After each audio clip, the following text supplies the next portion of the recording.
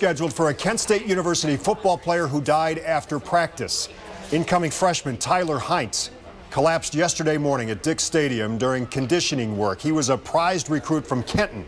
That's in the west central part of the state, about an hour and a half south of Toledo. The Portage County coroner said it may take several weeks to determine Tyler's exact cause of death.